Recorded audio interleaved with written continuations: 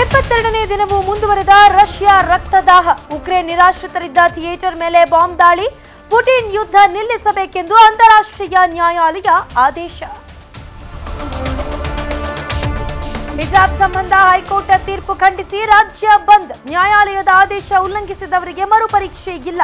ವಿಧಾನಸಭೆಯಲ್ಲಿ ಹಿಜಾಬ್ ಗದ್ದಲ ಸಂಬಂಧ ಬಿಸಿ ಬಿಸಿ ಚರ್ಚೆ. ಹಿಜಾಬ್ ವಿವಾದದಿಂದ ವಿದ್ಯಾಭ್ಯಾಸಕ್ಕೆ ತೊಂದರೆ, ಶಿಕ್ಷಣ ದೇಗುಲದಲ್ಲಿ ದ್ವೇಷದ ದಳ್ಳುರಿ ಮೂಡಿಸಬಾರದು. ಸರ್ಕಾರ ತನಿಖೆ ನಡೆಸಿ ತಪ್ಪಿತಸ್ಥರನ್ನ ಶಿಕ್ಷಿಸಬೇಕೆಂದು ಮಾಜಿ ಸಿಎಂ ಎಚ್ಡಿಕೆ ಆಗ್ರಹ. ಅಂತಾರಾಜ್ಯ ಜಲ ವಿವಾದ ಕುರಿತು ಚರ್ಚಿಸಲು ತಯಾರಿ. ನಾಳೆ ಸಂಜೆ ನಾಲ್ಕು ಗಂಟೆಗೆ ಸರ್ವಪಕ್ಷ ಸಭೆ ಕರೆದ ಸಿಎಂ, ಮೇಕೆದಾಟು ಯೋಜನೆ ವಿಚಾರವಾಗಿದ್ದು ಸಮಾಲೋಚನೆ. ಕನ್ನಡಿಗರ ಪ್ರೀತಿಯ ರಾಜಕುಮಾರನಿಗೆ ನಲವತ್ತೇಳನೇ ವರ್ಷದ ಹುಟ್ಟುಹಬ್ಬ. ರಾಜ್ಯಾದ್ಯಂತ ಅಪ್ಪು ಉತ್ಸವ.